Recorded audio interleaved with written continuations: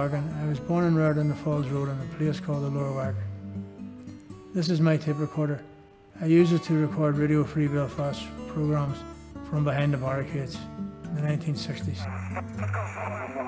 Stratton Mills and Robin Bailie have returned from their campaign in the United States to hide the facts in Northern Ireland. One of my friends gave me an old tape recorder and I fixed it, got it up and running, because I needed a tape recorder for my music when I used to play in the band.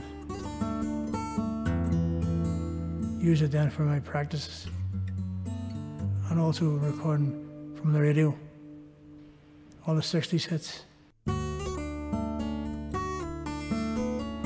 You weren't allowed to go to your area, it was too dangerous. So you stayed there, but I had the guitar to keep me company and my tape recorder.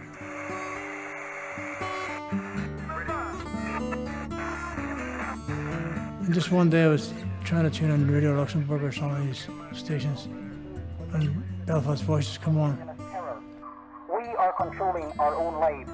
Neither the military nor the RUC may enter our. Like sort of inside information from people who are vigilante and walking around the place, finding out what was wrong. The station then put it on the broadcast from behind the barricades. They also had other requests for weddings to play certain songs for Wee Lily, Wee Mary and all this carry on. It's good crack. When they would have seen the army arriving, they were able to broadcast it to the people. They locked the barricades because the army's coming to, to raid the house.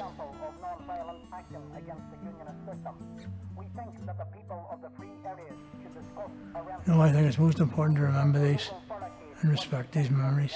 Absolutely. That the free areas belong to the people who live in them. Your opinion. When I listen back to those recordings now, I still find them very entertaining. And to be honest, I, when I listen to it, I think I'm still in the 60s. Sincerely believe I'm still there.